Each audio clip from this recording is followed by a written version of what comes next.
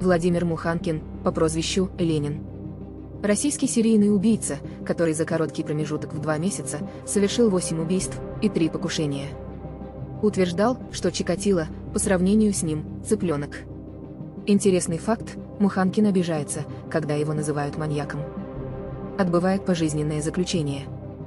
Я себя не считаю маньяком. Маньяк, маньяк тот человек, просто серийное убийство, но негодяй такой всякой. Но я же никого не изнасиловал.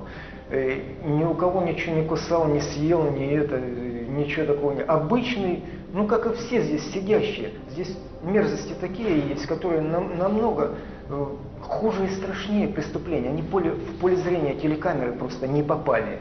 И вот здесь просто ну, сидят и мне, допустим, сказать, а, маньячила, там это. Вот. Помимо того, что я терплю, помимо того, что мне и так неудобно, и нехорошо, и больно внутри само.